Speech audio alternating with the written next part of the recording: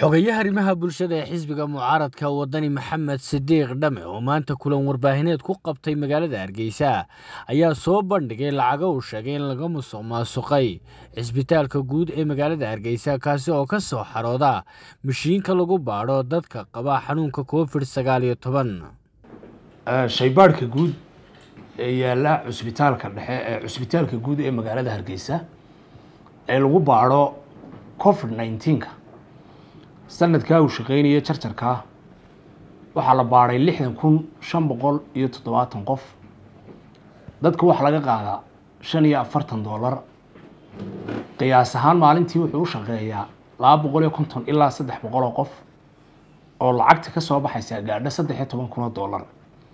Ilaa hadda lacagta uu shaqeeyey qiyaasteedu waa laba milyan iyo shan boqol oo kun oo dollar mishiinka dadka ka shaqeeya shaqaaluhu waa ilaa toban qof. Qofka ugu badan wuxuu qaataa shan boqol dollar ka ugu yarana boqol iyo konton dollar.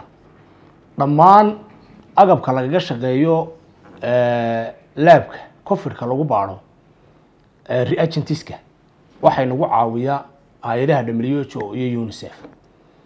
Macnaheedu waxa weeye mashiinkaas waa sirocos wax expensiso oo kharashi dabadda ugama baxo.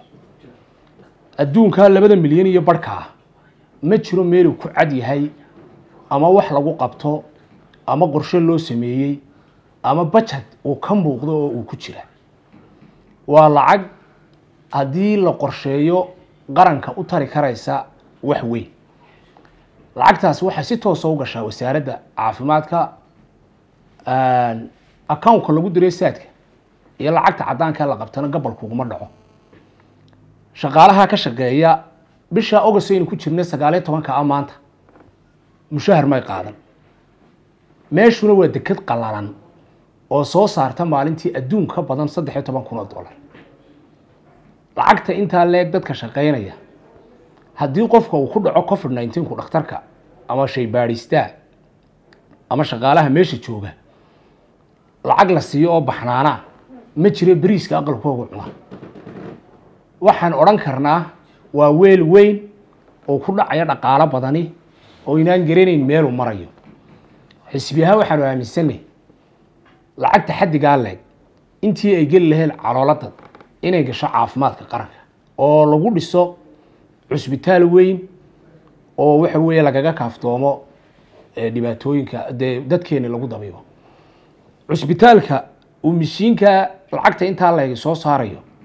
Dayn hal milyan oo dollar ka badan baa lagu leeyay.